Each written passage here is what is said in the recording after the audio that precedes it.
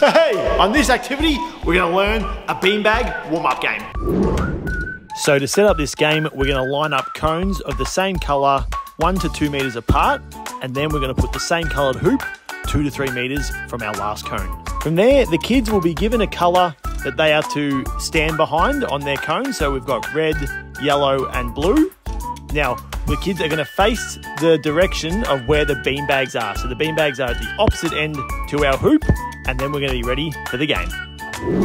So let's see how it looks from the kids' perspective. We're focusing on our underarm throws, our catching, and then we're going to try and get the beanbag into the yellow hoop.